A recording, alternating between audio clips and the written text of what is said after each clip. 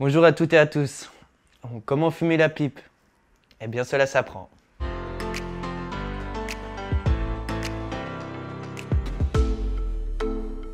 Aujourd'hui, nous allons consacrer ce tuto au conseil pour apprécier sa pipe. Fumer la pipe est une philosophie. Cela demande du temps. Cela se savoure. N'hésitez pas à regarder les autres tutos pour les conseils techniques, que cela soit le culottage, le bourrage ou par exemple le choix des filtres. Ici, nous aborderons les astuces pour rendre des plus agréables votre pipe.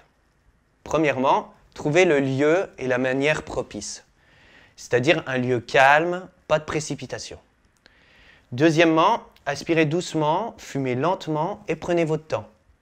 Fumer est synonyme de calme et de détente. Trouvez votre rythme pour réguler la combustion. Il est important de ne pas aspirer trop fort afin que la pipe ne chauffe pas. Le bourre-pipe vous sera indispensable pour tasser le tabac et permettre à tous les brins de tabac de se consumer.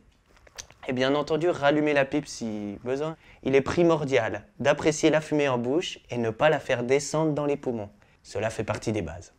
Et les arômes du tabac s'apprécient entre le nez et le palais. Donc crapoter, comme on dit. Et une petite astuce, aspirez un peu d'air extérieur pour rafraîchir la fumée. Maintenant, profitez. C'est le but. Vous en aurez pour 3 minutes ou 3 heures selon votre façon de fumer, mais profitez.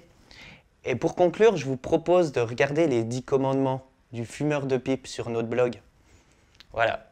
Bon, merci de m'avoir suivi. Je vous invite à visiter la chaîne YouTube et bien entendu le site pipe.fr pour plus de détails. À bientôt.